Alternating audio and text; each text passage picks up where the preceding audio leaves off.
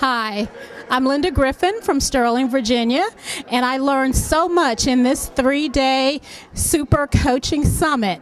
And I've gotten many ideas on how to acquire clients, so much so that I feel confident I can become a $100,000 a year coach and never do a free sample session again. Thanks.